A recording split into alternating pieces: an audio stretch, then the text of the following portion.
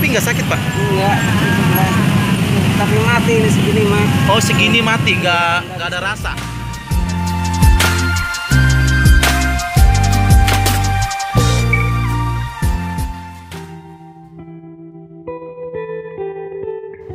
Assalamualaikum warahmatullahi wabarakatuh.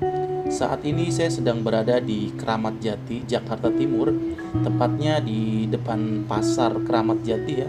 Di sini ada seorang pedagang asongan yang sedang menunggu pelanggannya ya. Saya akan coba review dia.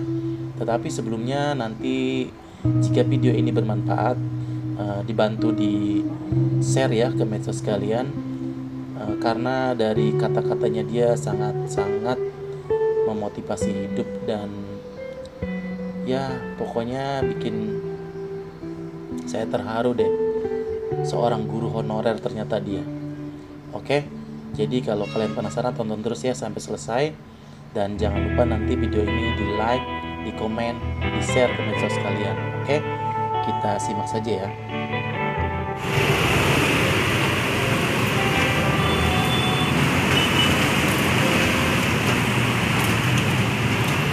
Isi pak. Jualan minuman. Mau dong. Yang dingin satu. Berapa nih? 500 Boleh sambil ngobrol nggak nih pak? Boleh nanya-nanya gak? Oh, ah, boleh. Boleh ya? Iya. Sebentar Nih.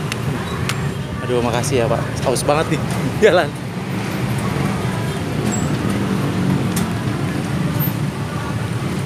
Bentar ya pak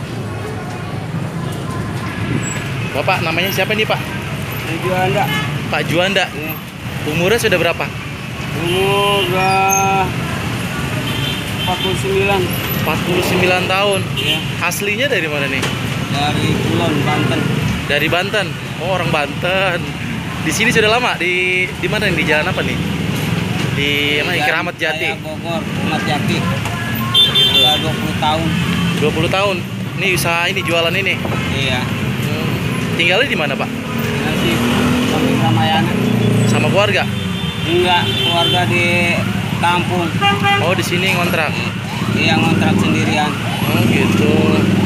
Nggak cukup kalau keluarga di bawah nggak cukup. Kalau nggak cukup ya kalau di bawah ya. Iya.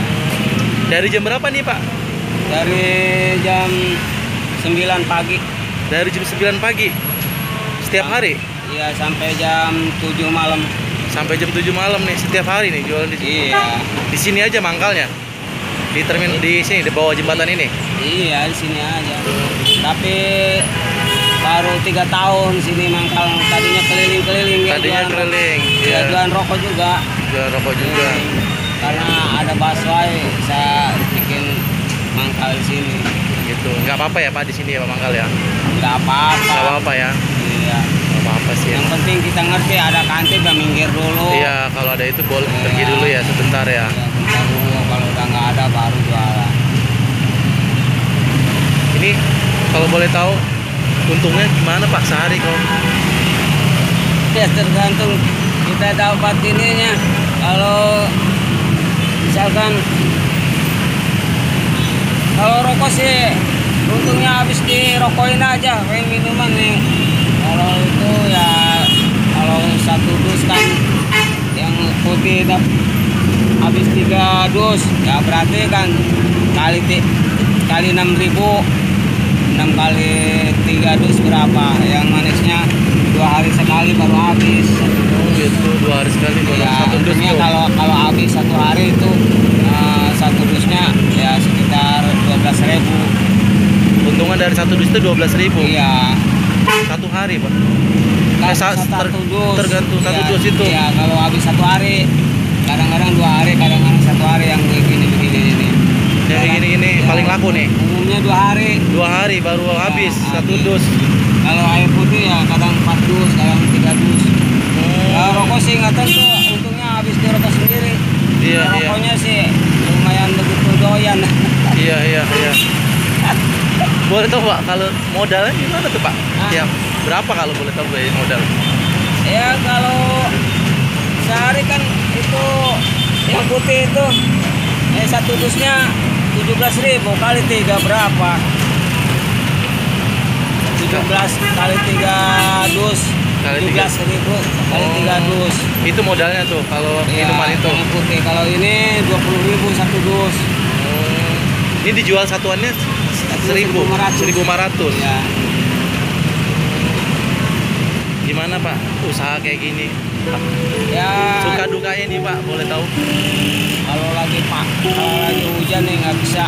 Kalau hujan susah ya, Ya susah nggak bisa ya? jualan. nggak bisa jualan. Nggak bisa jualan di apa namanya dibelain istirahat aja dulu.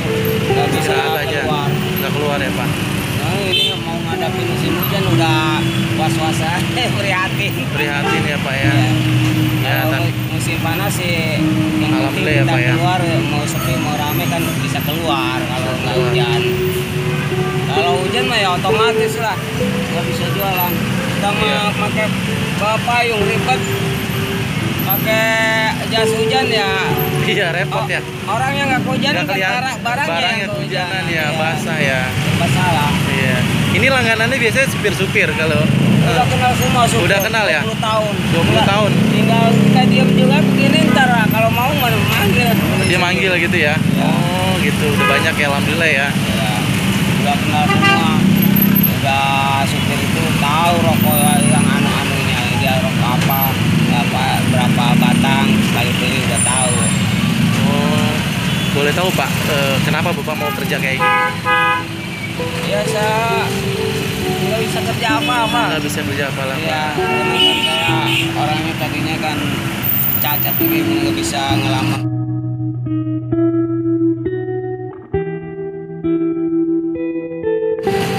Cacat apa ini? Kakinya ini Kaki Bapak sakit. bukan bekas gigitan ular dulu, Kenapa?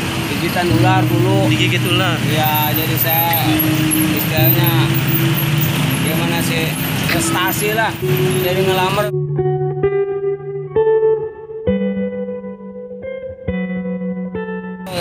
Susah. nggak bisa dia nggak bisa diterima. Padahal masa sekolah mah keluaran PGA dulu kan PGA PGA ya, guru ya Pak? guru Oh, saya nggak aktif lagi di masjid itu udah jadi pengurus masjid di Keramat Jati itu oh Bapak pernah jadi pengurus masjid? ya udah nggak aktif lagi tapi sambil jualan juga Sambil ada- jualan. pernah ngehonor dulu waktu bujangan karena saya kan punya ijazah PGA. Heeh. Honor di mana tuh Pak? di kampung dua tahun Ngajar ngajar apa? ajar akidah akhlak dan tafsir tafsir Al-Quran Iya iya iya. kadang-kadang ini apa ceramah Iya. masalah keagamaan Terus setelah itu Bapak ada juga kecelakaan itu gara-gara digigit ular. nah ini dari umur 7 tahun Oh dari kecil. ya sekolah juga udah udah pakai tongkat lagi sekolah itu MI, MI dari MI Mas. ya kalau udah SMP udah ke sana mah udah nggak pakai tongkat lagi Oh jadi ini udah dari umur 7 tahun seperti ini. iya udah ular Tapi sekarang gimana ngelangkah tapi nggak sakit Pak? enggak enggak. tapi mati ini segini mah Oh segini mati nggak nggak ada rasa. kan nggak ada rasa nggak bisa hidup Oh nggak bisa. takut Oh, terus jadi kalau ngelangkah? Ya biasa Diban- nggak sakit udah ini udah kebal Oh gitu. ya cuman nggak seperti orang yang normal lah Iya iya iya. Tapi bapak gimana? Ada keluarga, anak? anak lima udah keluarga berkeluarga dua orang Oh gitu. yang satu di Sumatera di bawah suaminya Wah, yang satu di kampung jadi bapak udah ada cucu nih. udah ada cucu empat terus yang belum nikah dua orang. Kerja? Anaknya? yang satu berhenti kerjanya ada di kampung. Yang satu masih sekolah kelas 5 sekarang ngurusin cucu. Cucu pak kelas satu sanawiyah. Dari kecil diurusin. Terus sekarang ngurusin cucu lagi yang umuran tiga tahun. 7 tahun. ya baru bisa jalan. Jadi bapak ini eh, jualan ini ya untuk keluarga setiap pulangnya sebulan sekali atau gimana nih? orangnya sih nggak pulang pak cuman sekarang Dikirim. kan zamannya lain di transfer aja Transfer aja ya. Iya. Bapak jadi udah berapa, udah berapa lama nih belum pulang ke Banten? udah empat bulan Udah empat bulan belum pulang. Iya.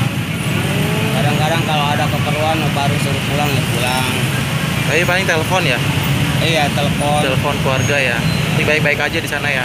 iya Alhamdulillah ya. kalau ada apa-apa lah kalau ada yang sakit apa ada ke- keperluan atau kepentingan ya terpaksa pulang lah Terpaksa pulang, iya. enak. Tapi bapak menjalani ini udah ikhlas ya pak ya. pokoknya mah kalau dinikmatin dengan nikmat ya nggak terasa lah Dinikmatin Iya. dengan nikmat tidak terasa. iya terasa kalau Iya. pekerjaan enak juga kalau nggak dinikmatin mah nggak bisa tenang. Oh, gitu. di satu saat tenangnya bebas walaupun kita nggak ada yang nyuruh nggak ada yang ngeberhentiin nggak ada yang ngomel-ngomel Iya iya iya. bebas Bebas ya. Tapi ada gak pak eh, yang sejenis bapak jualan di sini saling saling gimana gitu? Apa? ada di Ada, sana pernah? di depan ada dua orang Ah, ada yang yang semacam saya banyak di sini Banyak. tapi keliling tapi mereka keliling. iya Nggak deketan bapak sini nggak apa-apa gitu ya nggak pak? ada udah Nggak tahu ada. udah ngerti dia Udah ada, saling ada tahu ya, yang Pak? punya Oh iya iya iya. ya di mana ada kan di situ pasti ada yang harimau nya Oh apa tuh pak? Apa apa, apa tadi pak bilang? di Gimana? mana ada tempat tempat tinggalnya di situ pasti ada harimau nya gitu ada yang Iya, memilikinya ada yang memilikinya ya. Jadi Tapi mereka sudah tahu ya. berarti kita memilikinya punya kita bukan Iya. Kita harus saling ngerti aja lah Saling mengerti ya Iya, sesama penjual ya jualan ya. cari eh, makan Cari kita makan, ya. bagaimana cari makan yang baik saya juga sama orang nggak nggak bisa begitu. Ya orang juga sama saya harus begitulah. Iya iya iya. saling Yang penting kita saling mengerti ya pak Iya, ya. walaupun nggak ada ngatur kita harus ngatur diri sendiri lah harus bisa ngatur diri sendiri walaupun ini di sini nggak ada aturannya katanya. Ya nggak ada aturan gimana. Orang yang paling pertama kan siapa yang duluan? Di situ yang memiliki Iya iya. yang menyerobot Ya udah. Oke. kecuali uh, saya juga ada yang paling lama nggak begitu berani nyerobot ada paling lama dari saya ah. Nah, saya juga tahu sendiri ya mengerti kalau ada dia ya belakang aja jualan jualan bukan kita nggak boleh jualan kalau mau di belakang saya Iya iya yang iya. baru itu Iya iya. saya juga mengerti sama yang lama kalau ada yang lama ya saya di belakang dia Oke. tidak bisa di depan dia karena kan Iya. kita harus saling menghargai Ini kebetulan hari ini sudah laku banyak belum nih? Sudah ada ya alhamdulillah orang udah dari jam 9 dari jam pagi 9 ya, Iya. udah lumayan ya. Ada ya. ya lumayan cuman ya belum kelihatan untung itunya Belum karena kelihatan. kita belum istirahat Oke. terakhir kalau istirahat terakhir kan jam 8 kita Iya, udah iya, ketahuan untungnya Iya iya iya. Aduh, mohon maaf nih Pak, saya ganggu. Ini tadi saya berapa nih Pak? 500 ya. Ini saya ada sedikit rezeki buat bapak. Jadi bapak dibalikin ya. Semoga berkah ya pak ya. Terima ya pak ya. Ya. Terima kasih ya pak ya. Mohon maaf saya ganggu bapak nanya-nanya ini seperti ini. Saya senang sekali karena ya. ya namanya manusia ya harus kita ketahui orang yang sebenarnya